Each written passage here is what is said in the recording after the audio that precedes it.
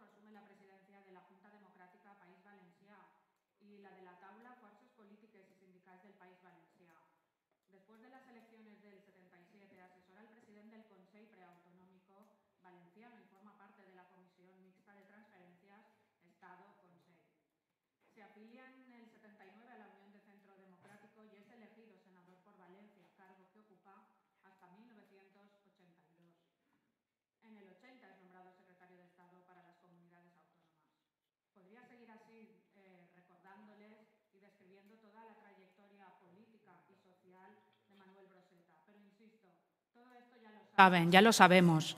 Hoy, cuando se cumplen 30 años de su muerte, nuestro homenaje, el homenaje que le brindan las instituciones valencianas aquí representadas, va más allá de lo político. El de hoy es un homenaje al padre, al amigo, al profesor, al hombre de talante conciliador que se ha convertido en un símbolo de la convivencia.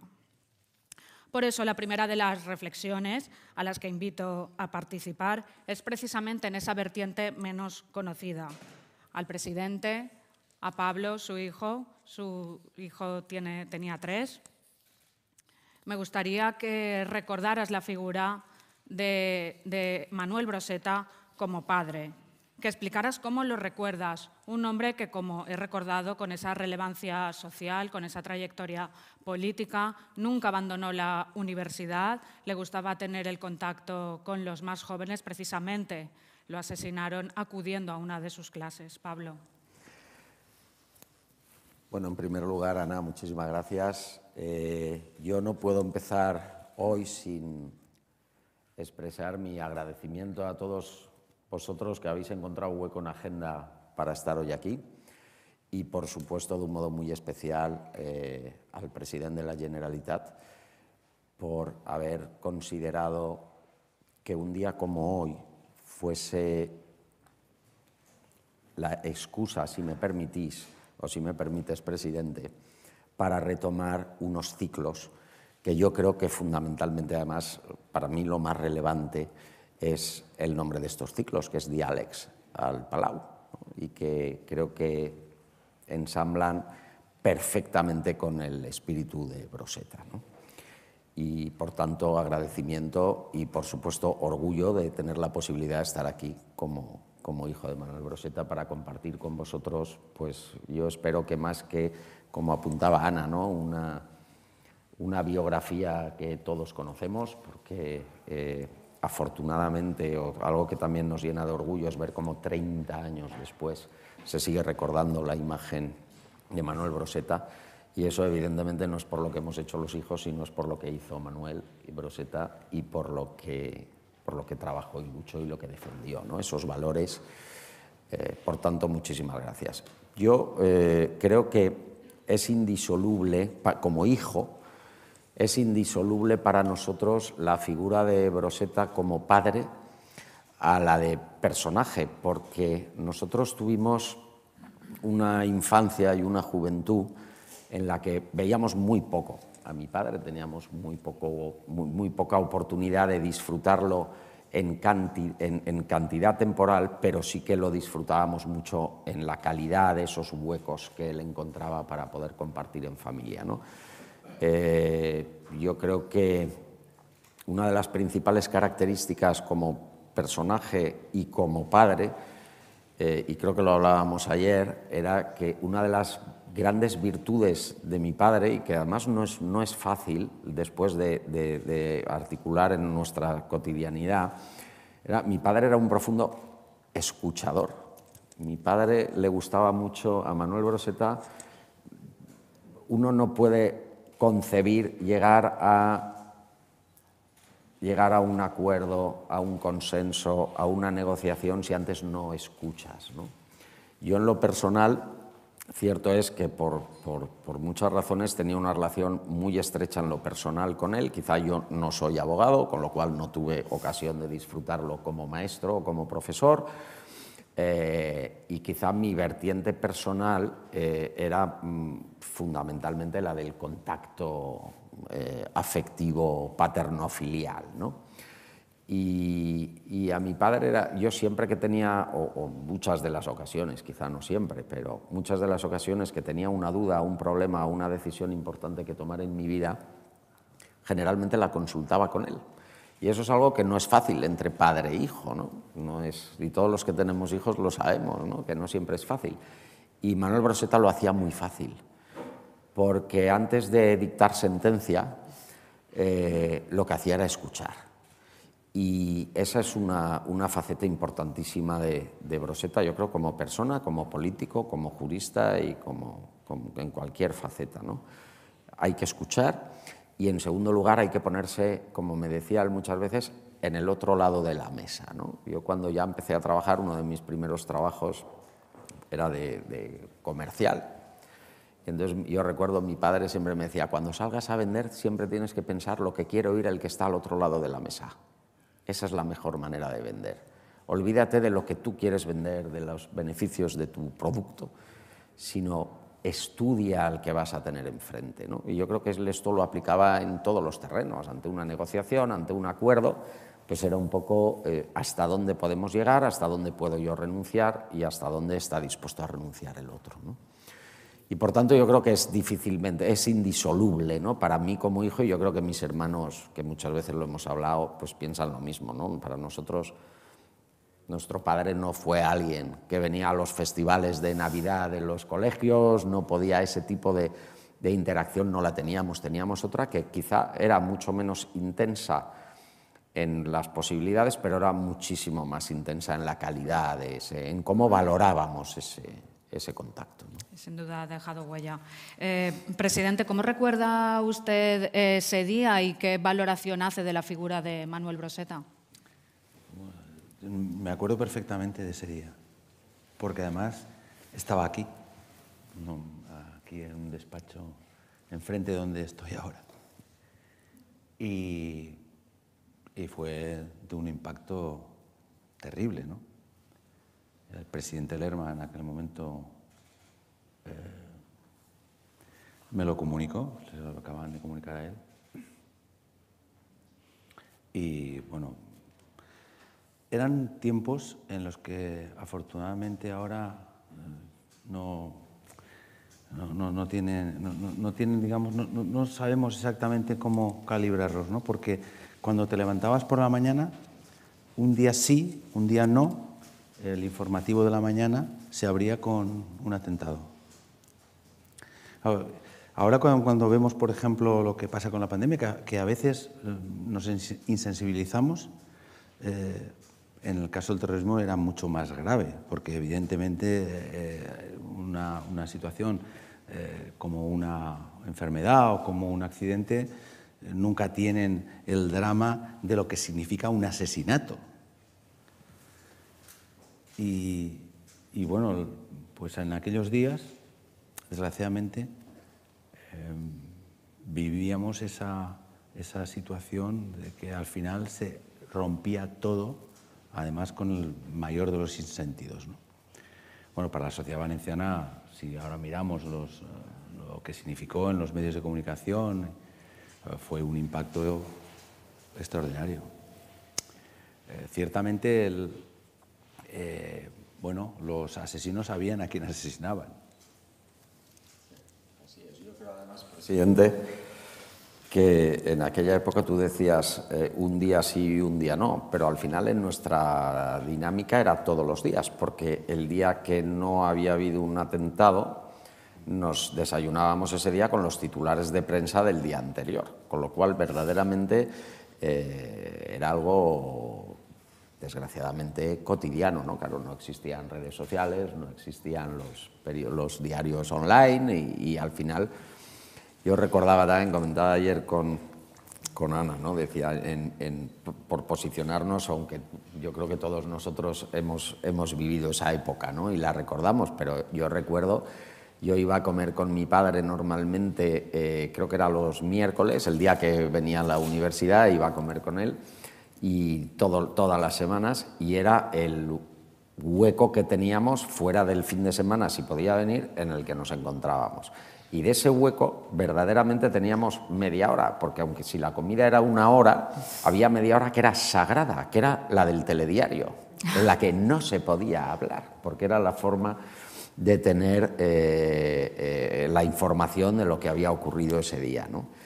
Y, luego yo, enlazando también con, con, lo que nos está ocurriendo ahora con el coronavirus, ¿no? con el COVID, es decir, claro, el terrorismo, aparte de que evidentemente no es lo mismo un accidente que un asesinato, pero no menos cierto es que, la prensa y los medios lo que nos permitían era ver con toda la crueldad del mundo, es decir, al final se veía eh, o el coche ametrallado o, la víctima tirada por el suelo con el paraguas, yo recuerdo creo que fue el de Lope de la Calle, ¿no? que se veía la imagen aquella del paraguas que llevaba, entonces, eh, el, grafismo y, los recursos gráficos en aquella época eran verdaderamente impactantes. ¿no? Y, eso hoy en día, pues generalmente ni con la violencia de género, ni con el coronavirus o con todo este tipo de, desgracias o de, pandemias que, y pandemia que tenemos ahora, pues no, son, eh, no tenemos el recurso gráfico todos los días. ¿no? Hablamos de 20 muertos, pero, pero no tenemos la imagen de esto.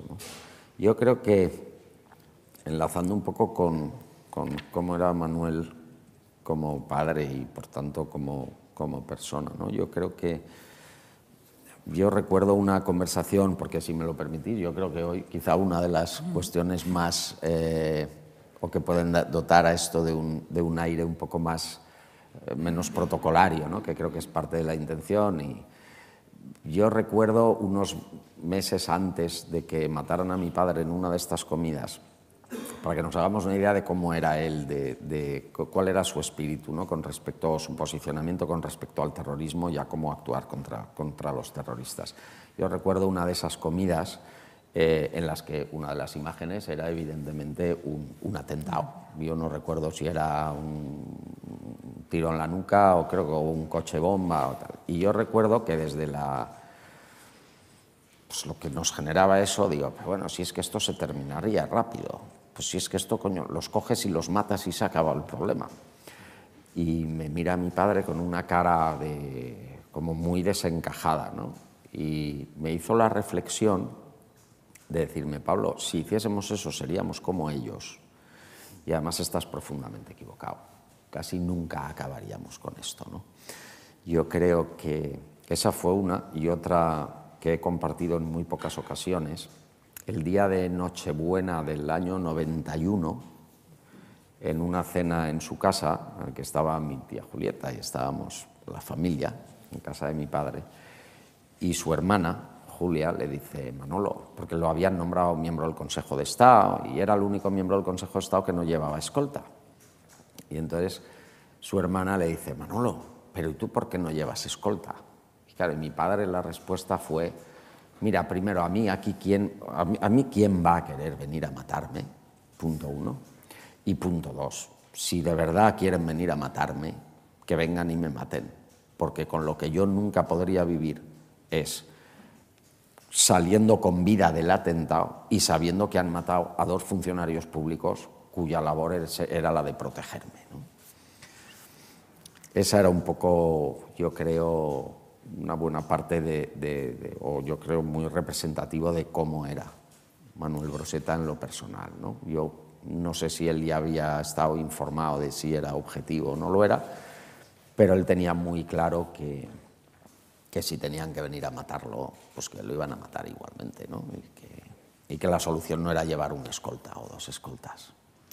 Como dices, es cierto que, por desgracia, los valencianos fuimos golpeados más veces con la barbarie y la sinrazón terrorista, la explosión del corte inglés en Valencia en 1995, el asesinato de Tomás y Valiente en el 96 o la explosión en el cuartel de la Guardia Civil en Santa Pola en 2002. Fueron, como habéis recordado, los dos años muy duros, no solo en Valencia, en toda España aunque era, por aquel entonces era inimaginable que pudiera llegar el fin de la banda terrorista, pero llegó. El 20 de octubre de 2011 la banda anunciaba el fin de la violencia. Eso sin duda supuso el final de ETA. Por cierto, de aquello también han pasado ya 10 años hasta que finalmente en 2018 comunicaba la disolución de todas sus estructuras. Presidente, ¿le daba en ese momento credibilidad a ese anuncio? Es cierto que la banda había anunciado eh, varias anteriormente, algunas treguas que después se incumplían. ¿Cómo vivió el anuncio y, sobre todo, ¿Cómo valora ese camino que se recorrió después para unir y curar heridas que tenía la sociedad entonces? Bueno, yo creo que lo que debemos ser conscientes es que la huella de todo lo que ha significado el terrorismo en nuestro país está ahí, muy presente aún.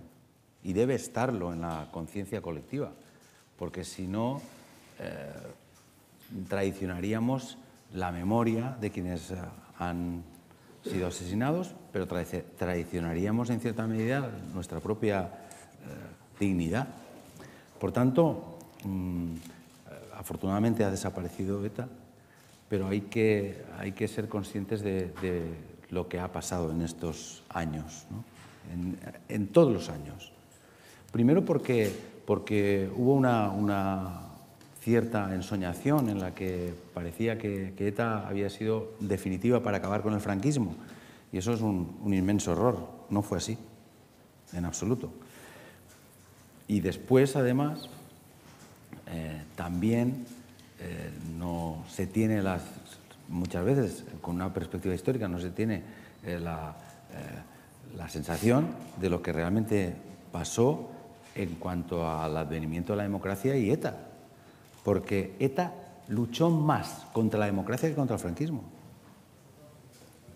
Y esta es una cuestión que muchas veces no, aparece suficientemente subrayada, a mi parecer. Eh, por tanto, esta es una historia fundamental que hay que conocer y que hay que, hay que interiorizar.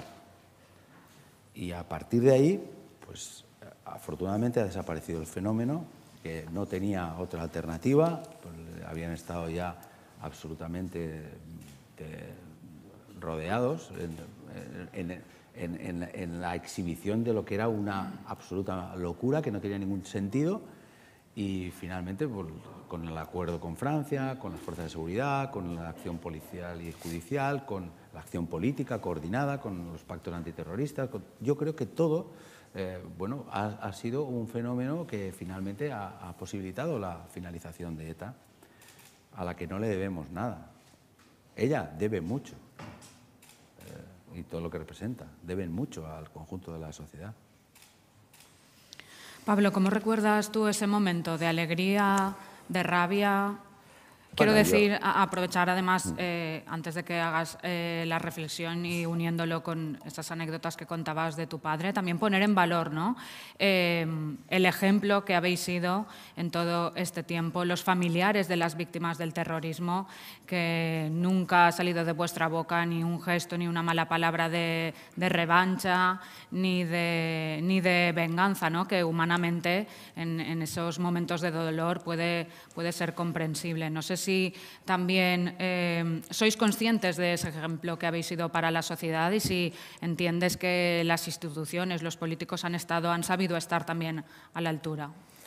Eh, absolutamente. Quiero decir, yo creo que por una parte, la primera parte del comentario, eh, en su momento yo creo que todas las víctimas o la sociedad en general, víctimas o no víctimas, ¿no? asumimos eh, el comunicado con el razonable escepticismo, eh, sin tener muy claro si verdaderamente era algo que, eh, que iba a materializarse ¿no? realmente.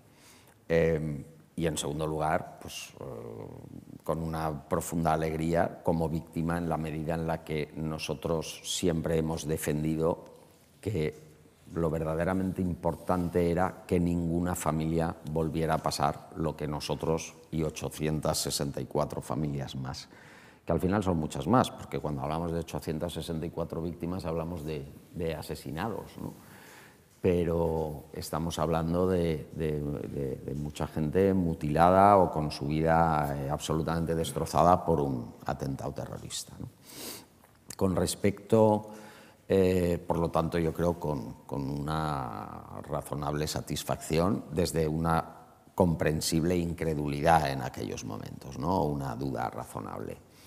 Eh, yo creo que si nos vamos a la situación actual, eh, al momento actual, creo que como componente del colectivo de víctimas y creo que en gran medida muy compartido por, un porcentaje elevadísimo, sí que creo que eh, no se nos ha posicionado en el lugar que nos corresponde con respecto, eh, y esto quiero explicarlo bien, con respecto a determinadas decisiones políticas que se han ido tomando durante estos últimos años y donde yo creo que el colectivo de víctimas debería de haber sido un interlocutor válido, cuando menos, a nivel de consulta y a nivel de, eh, de, poder manifestar su opinión con respecto a. Me estoy refiriendo pues, a situaciones muy actuales, como puede ser eh, la concesión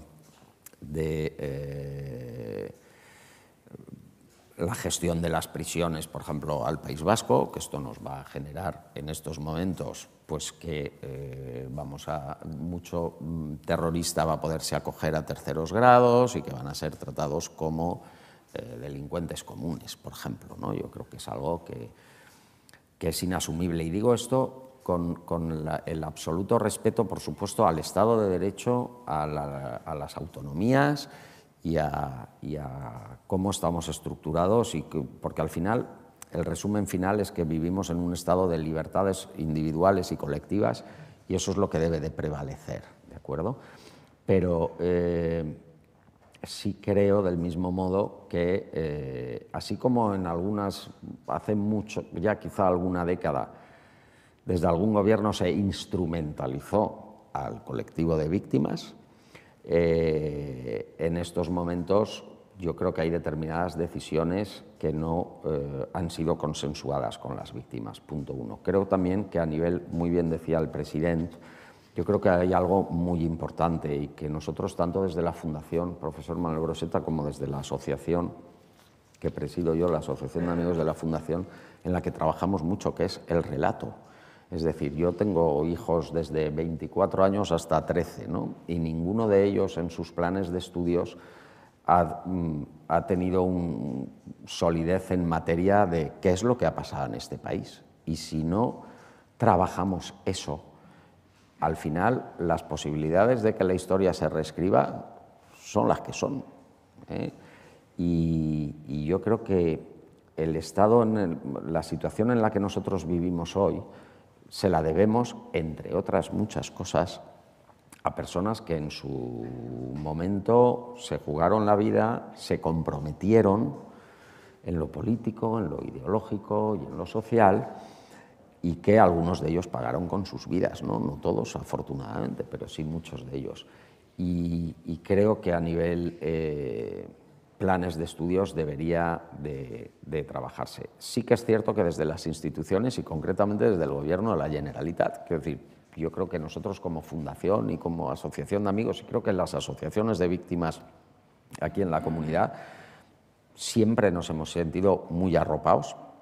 Nuestro presidente siempre nos ha manifestado su cariño, nos ha apoyado, ha trabajado con nosotros en desarrollos en colegios, y en institutos justamente para poder ir, intentar permeabilizar a los jóvenes nuestra historia más reciente, ¿no? y creo que esto es algo de agradecer.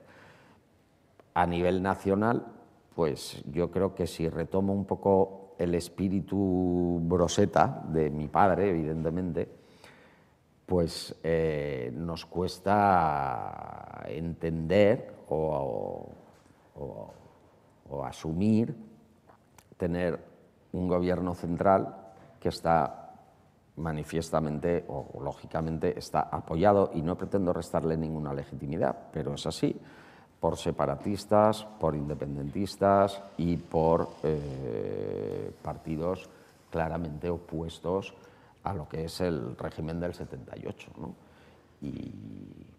Y yo creo que, sinceramente lo creo, que el Partido Socialista no entra en, esas, eh, en esos caminos y en esas dinámicas. Yo creo que todos tenéis muy claro eh, el valor del, del 78, pero no menos cierto es que yo creo que apelando a, esos, a esa capacidad de consenso, de diálogo y de aunar fuerzas en pro del buen gobierno, eh, a muchos de nosotros nos hubiera gustado, eh, hubiéramos visto con, con mejores ojos, pues acuerdos de los grandes partidos que hubieran trabajado y quizá hay que buscar responsabilidades en los dos, no en una de las partes.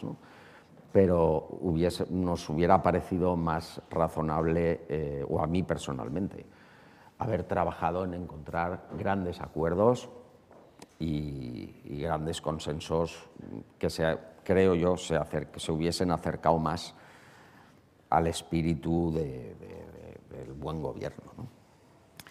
Eh, coincidís los dos en que es importante no renunciar a esa historia, a la historia eh, que supone también para como sociedad ETA, recordarla, estamos, como lo estamos haciendo ahora, ¿no? desde la serenidad, desde el diálogo, pues precisamente para no repetir los errores del pasado, porque es cierto que Hoy ETA ya no existe, no está, pero la sociedad sigue siendo víctima de otro tipo de terrorismo que también mata, no utiliza las armas, pero mata con el odio, con la palabra, con los golpes que generan los fanatismos que, en los que la razón y el sentido común quedan diluidos eh, a favor del odio.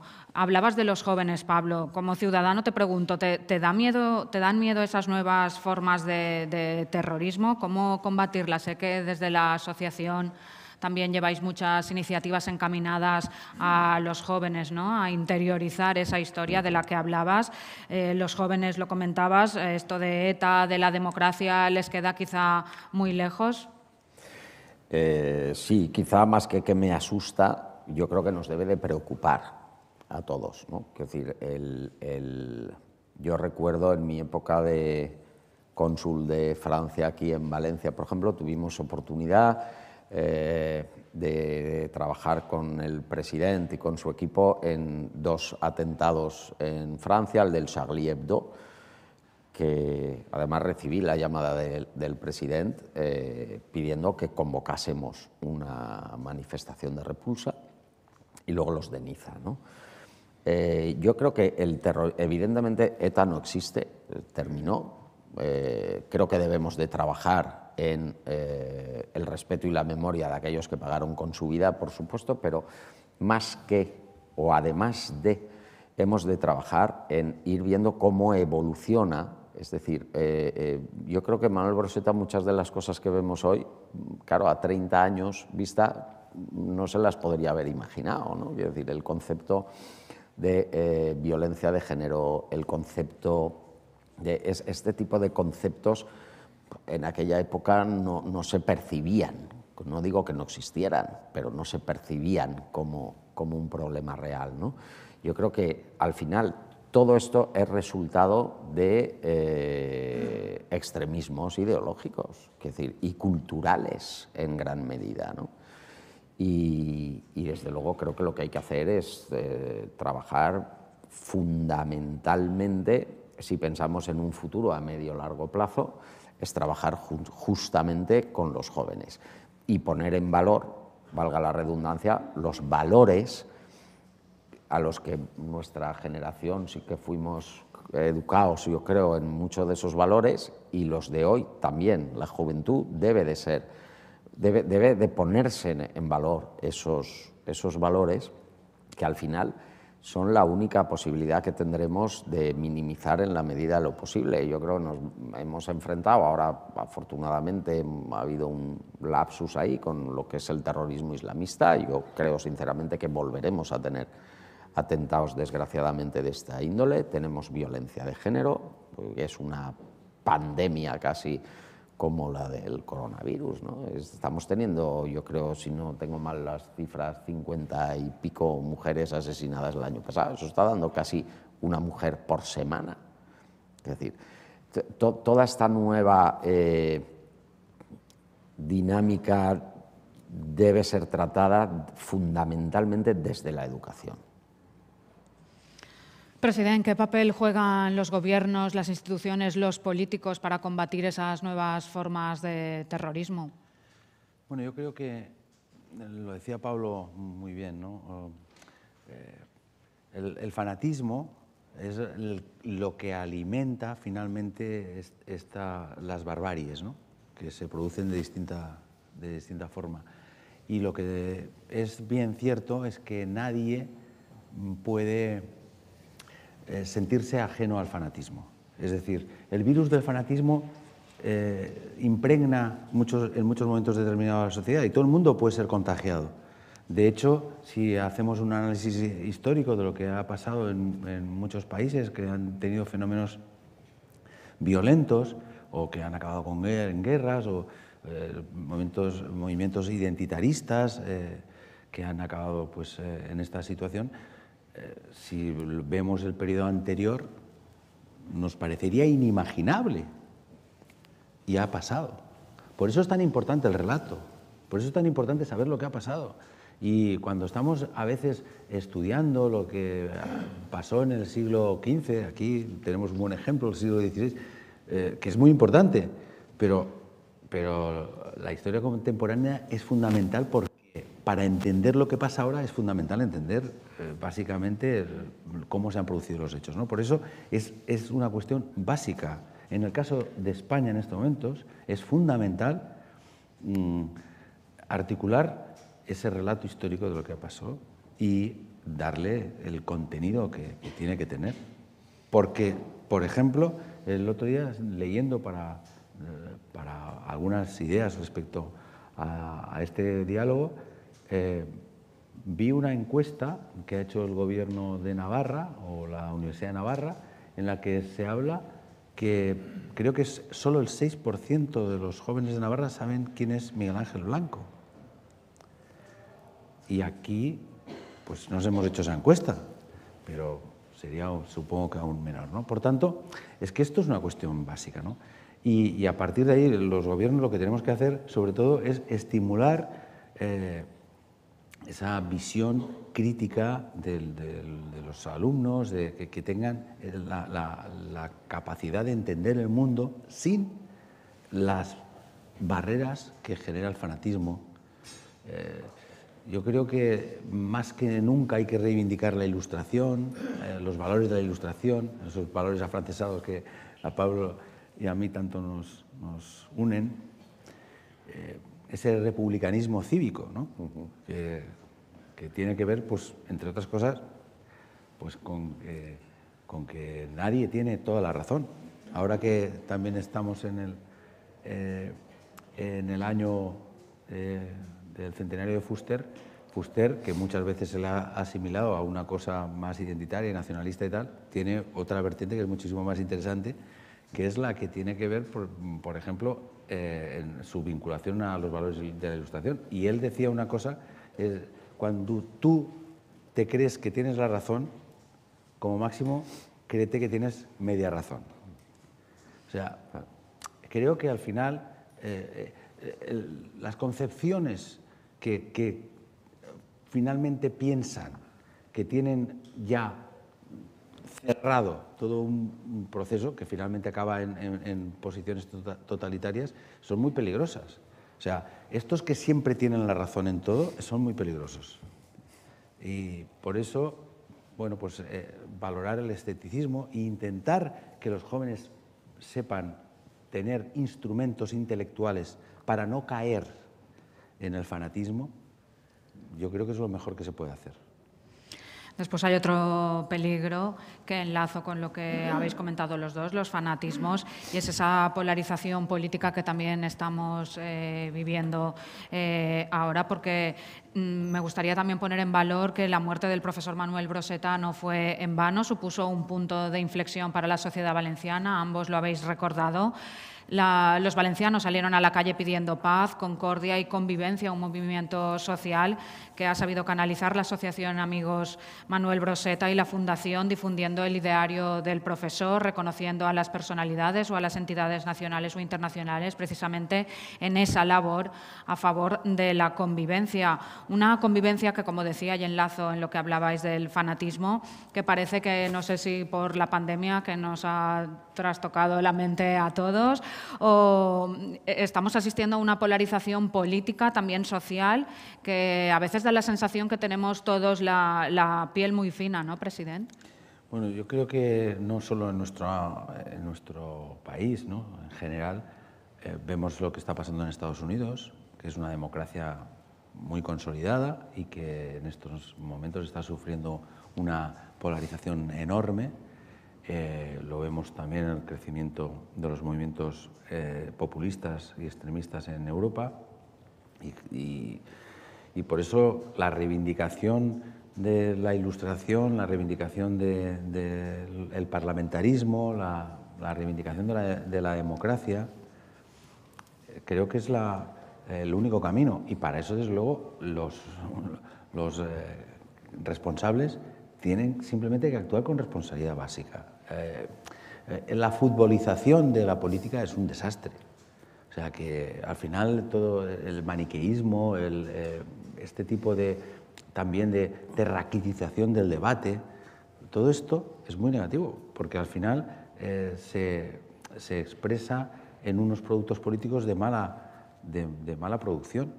y, claro, la sociedad finalmente acaba, mm, acaba pues, situándose en este maniqueísmo ridículo.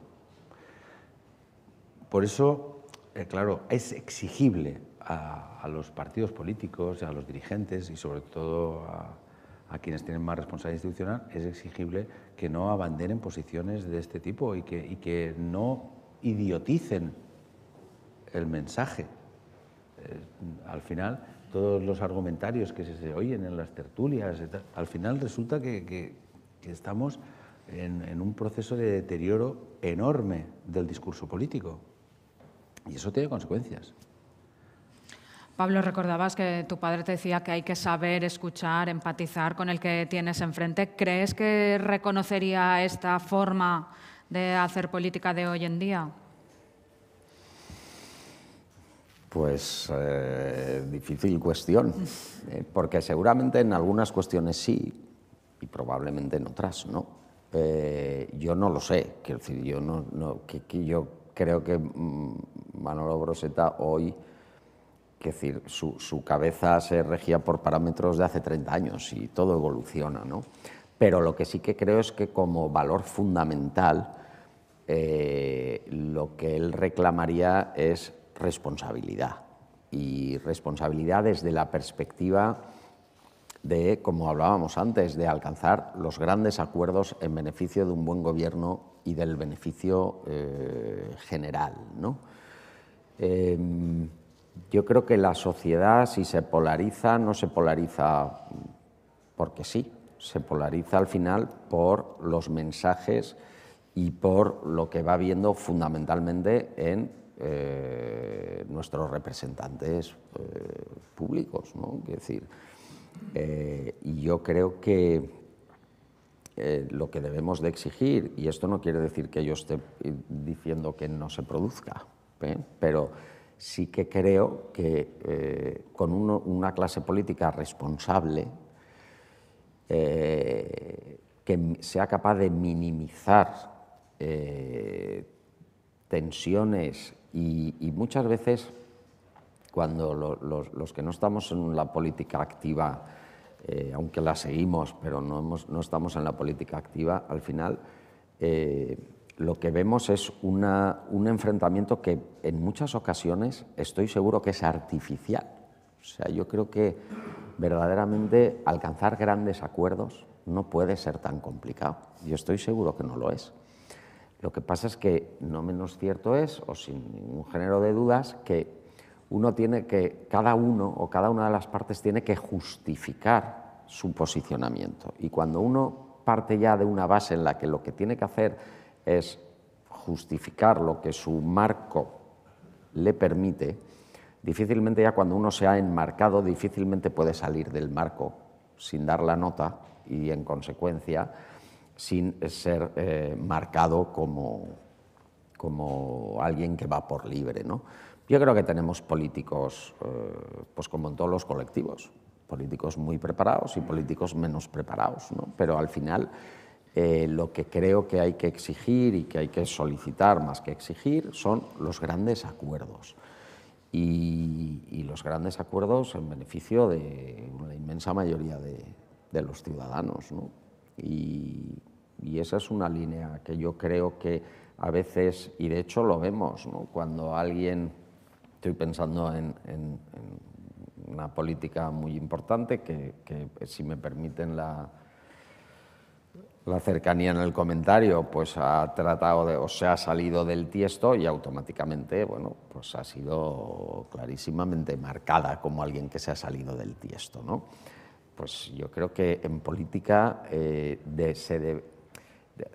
cuando hablamos de que una sociedad, estamos en una sociedad moderna, evolucionada, donde las libertades públicas y las privadas eh, existen y están al orden del día, desde fuera a veces da la sensación de que esa libertad individual dentro de en alguien que está dentro de un gran colectivo, que tiene un norte y una línea marcada, esa posibilidad de salirse del tiesto y de, diverger con respecto a la línea marcada sin que eso se considera como un ataque a esa línea o a ese norte marcado, más que considerarlo como algo que lo que puede hacer es aportar otro punto de vista, otro enfoque y que además ese posicionamiento es tan legítimo como el de la gran masa que está dentro de ese marco. ¿no? Y yo creo que, que al final los políticos son, son personas que tienen que ideológicamente defender, yo creo que esto es algo que era muy, muy, muy, muy broseta también y de muchos políticos de hoy en día, ¿no? que es al final defender lo que uno cree que debe de defender y, y trabajar por los valores que uno cree que debe de trabajar y, y de marcar como su norte vital y en el momento en el que alguien no está conforme o no, eh, o no está dispuesto a remar en esa dirección, pues hoy en día me da la sensación de que es bastante complicado manifestarlo abiertamente porque eso no, no creo yo que fuera tomado o asumido como una crítica que, constructiva que probablemente aporta otra visión de un determinado problema, sino que es una voz crítica y como tal rompe moldes y por lo tanto es incómoda. ¿no? Sin duda, una cosa es la teoría, ¿no? pero a veces cuesta esa teoría llevarla a la práctica. Os agradezco la sinceridad, la serenidad de vuestras reflexiones. He anotado algunas frases que me gustaría bueno, recordar a modo de conclusión. Eh, la importancia del relato, la interiorización de nuestra historia, sobre todo en esa anécdota que has contado, ¿no? No vale el ojo por ojo, diente por diente, que insistía tu padre. Creo que es el mejor homenaje que podemos hacer a tu padre, al sufrimiento, al dolor de tantas víctimas del terrorismo, de sus familiares, no, no olvidarles. Y por eso me gustaría, estamos finalizando ya, que hicierais una breve reflexión para cerrar este homenaje a la figura de Manuel Broseta, sobre todo apoyada en esos valores que defendía. ¿Qué crees que te pediría a ti hoy como padre, viendo la sociedad como está hoy en día? Bueno, yo creo que no puedo más que acabar como he empezado, ¿no? agradeciendo al presidente el reinicio de estos ciclos, que creo que además hablábamos antes, creo que nos permiten además acercarnos eh, al presidente, muchas veces seguramente más que, al interlocutor de, esta charla. ¿no? Y creo que es interesante porque humaniza eh, a nuestro máximo responsable y, dirigente, creo que es, que es importante. Eh, yo lo que creo es que yo no me voy a atrever a, a plasmar lo que yo creo que hoy Manuel Groseta. Yo lo que sí que creo es lo que nosotros, pues, sus hijos en este caso, la Fundación y la Asociación de Amigos, eh, por lo que hemos trabajado y seguimos trabajando, y creo que somos reconocidos por ello, que es al final trabajar por unos valores que nos hacen como sociedad ser mejores y aportar todo lo que cada uno de nosotros podamos desde nuestra medida para mejorar esta sociedad, para posibilitar que siga desarrollándose, que siga creciendo en, parámetros de libertad individual, de libertad colectiva, donde al final eh, lo que tenemos que conseguir, o, el punto creo yo, es de fortalecimiento y de empoderamiento de una sociedad eh, libre, plural, europeísta. Mi Manuel Broseta era profundamente europeísta en un momento en el que eh, esto empezaba un poco a nacer ¿no? en aquella época. Y yo lo recuerdo defendiendo a ultranza en aquella época lo importante que iba a ser para nosotros ser europeos. Y creo que de esto poco hemos hablado. Seguramente algún día habrá un, un invitado aquí muchísimo más preparado que yo para hablar de lo que Europa ha supuesto para España en todos los aspectos. ¿no? Yo creo que al final es muy, mi padre también decía mucho, mira, qué importante es viajar y salir para darte cuenta de lo que hay, valorar lo que quieres y darte cuenta de lo que no quieres. Y toda esa amalgama, ese abanico, son los que te van a posibilitar posicionarte, trabajar, posicionarte en lo ideológico, y luego ser coherente con eso. Y, yo creo que a nosotros siempre nos decía, mira, sé feliz, en la vida de momento que sepamos solo hay una y tenéis la obligación, esto es una máxima que mis hermanos y yo hemos aplicado desde, yo creo, muy pocos días después de que lo asesinaran, ¿no? Y él nos decía mucho, decía, mirad, que se sepa de momento vida hay una, tenéis la obligación de ser felices, de hacer feliz a vuestro entorno y de aportar todo lo que y devolver a la sociedad todo lo que la sociedad nos está brindando a nosotros. Yo creo que esa es una buena reflexión que mis hermanos y yo hemos tratado de llevar a rajatabla y, y pues poco más. Presidente, ¿qué reivindicaciones cree que le haría al presidente de la Generalitat en estos momentos el profesor Manuel Broseta? Bueno, no lo sé, pero en cualquier caso sí que son muy inspiradoras 30 años después algunas de las cosas que él dijo y que hizo. De hecho, ahora estamos ante una encrucijada fundamental, que es la renovación del sistema de financiación. Y bueno, Manuel Broseta fue una persona clave en los pactos autonómicos del principio de los años 80. Y ahora, más que nunca, sería, yo eso lo he planteado en algún momento, ¿no? la necesidad de, resituar otros pactos autonómicos que serían absolutamente necesarios.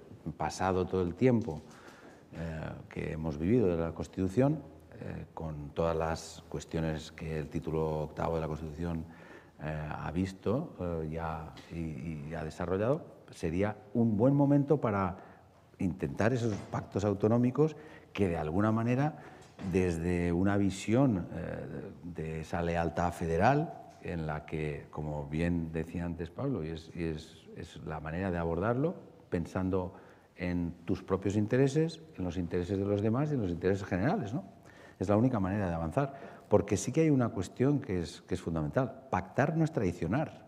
Amos Oz eh, lo dijo, y él como israelí, que en Israel era considerado traidor y en Palestina era un judío de tal, ¿no? O sea, bueno, pues esta es la, desgraciada vida que a veces nos toca eh, interpretar, ¿no? Pero es que la democracia es tanto diferencia como acuerdo.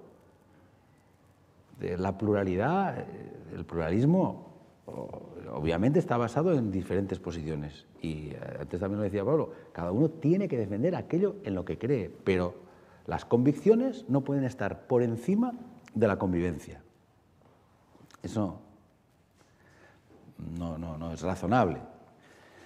Y, ahí es donde en estos momentos yo sí que, sí que creo que lo que decía el profesor Borseta y el político Borseta en aquellos tiempos mm, son absolutamente aplicables. Hay una cuestión que yo leí hace también poco en la que él hablaba de, de que el sistema autonómico no podía ser un sistema de confrontación entre autonomías.